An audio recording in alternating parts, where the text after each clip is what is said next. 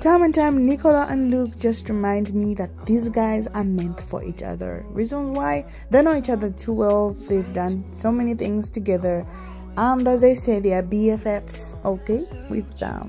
Let me not dive into that. Okay. I feel like this is really hard, but then your Spotify tells you, and you're like, oh. Okay, three, two, one.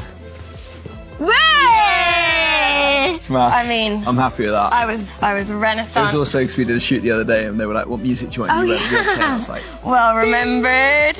just one? That is hard. Also, I feel like you could probably list my top five. Yeah, you like, love things that you you love peanut butter. onto. You love Yeah. uh, a cinnamon roll. Three, two, one. Brilliant. Look at That's the- Yeah.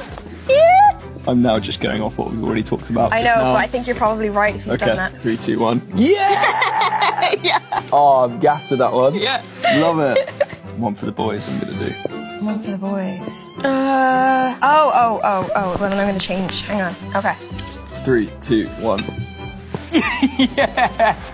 I'm actually not, but I just wanted to put this out there because So happy I got that right. I think the boys will be really pleased that I, yeah. I put that. I was gonna it in write being supportive. I'm doing it for the boys. I was Something like, like really rub nice. that out. Fortnite gaming.